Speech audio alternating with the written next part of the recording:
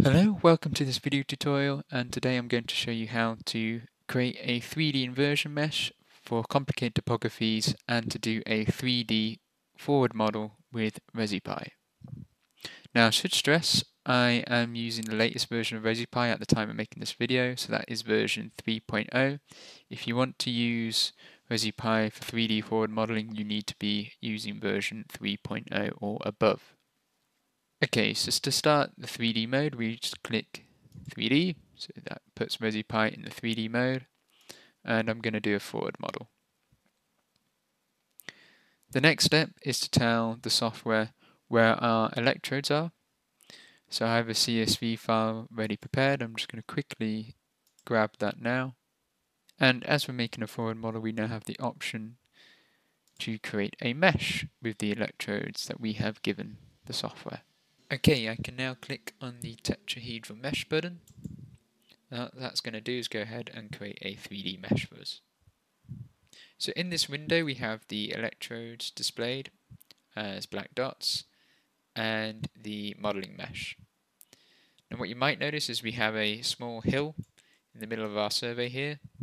So we've got two perpendicular electrode lines crossing over each other on the top of this hill because this is a, a model, I know that the actual topography here is a lot smoother than is being portrayed in this image.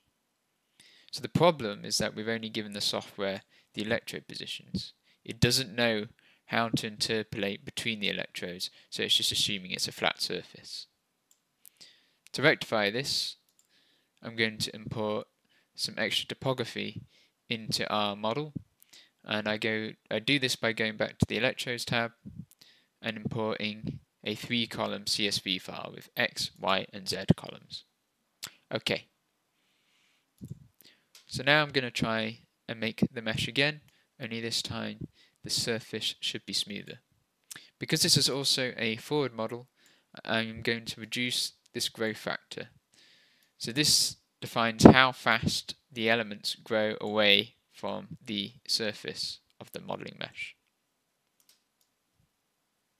When forward modeling, I want finer control over how many elements I'm going to select inside of the inversion mesh. So I'm going to reduce the rate at which the elements grow away from the surface of the mesh. And again, we give that a second to create a 3D inversion mesh for us. Alright, so now we have a 3D mesh with a smooth topographic surface.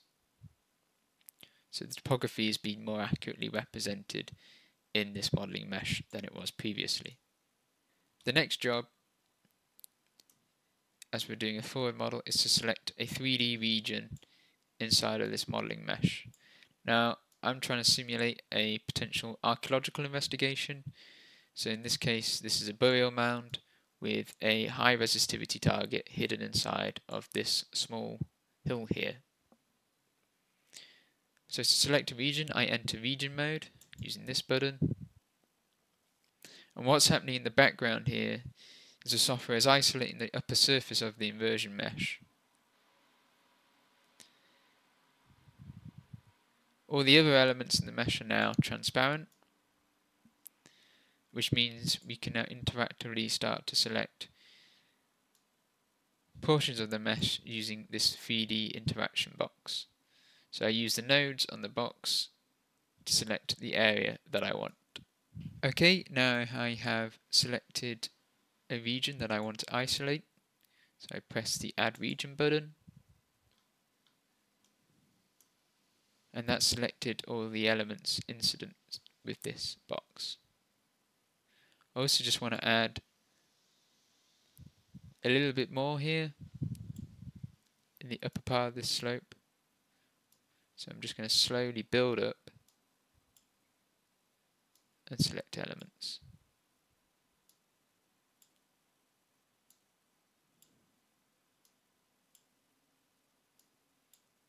Press the add region button again.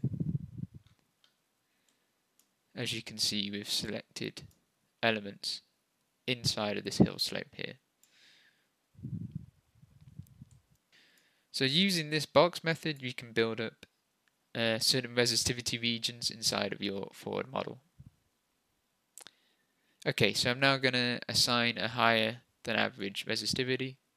So region 1 in this case is all the transparent cells that we cannot see, which has a resistivity of 100 ohm meters. And then I'm going to assign these other regions a resistivity of 500 ohm meters to simulate a high resistivity target. And I'm going to exit the mode. So for the purposes of demonstration, we're now viewing a mesh with all of the regions and you can see the outcrop of the selected regions with the high resistivity in this image. Now we can make a forward model. In this case, I am just going to do dipole-dipole arrays. Uh, you can watch my 2D forward modeling video where I demonstrate some of the other array types that we can use with ResIPy in the forward modeling mode. So I'm going to add another dipole-dipole sequence here and press the forward modeling button. Now what's happening here is the software is automatically identifying the electrode lines within our survey and creating a sequence for those surface arrays. Once the forward modeling process is done, we will see a 3D pseudo section.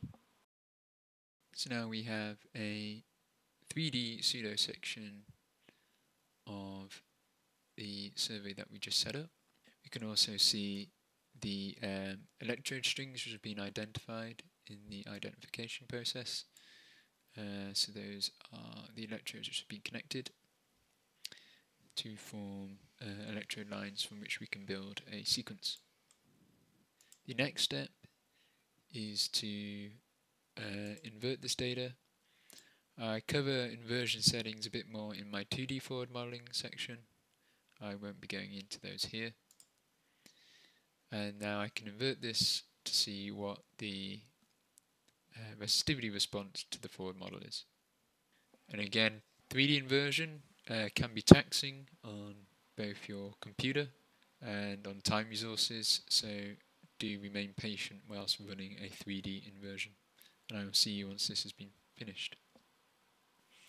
Okay, now that that's finished, we now have a 3D inverted resistivity volume. So I can put some slices through this, and I'm going to do that at about x equals 30 and y equals 30. And this gives us an idea of the resistivity through the 3D volume. And as you can see that there is a high resistivity target underneath this hill slope. So we can now go ahead and start to make an interpretation. Of course now we can compare how this looks um, with the actual real resistivities which we passed to the inversion software.